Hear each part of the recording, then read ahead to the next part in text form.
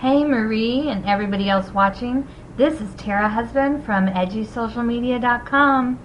I can't sleep nights because I am so focused on social media best practices of politicians.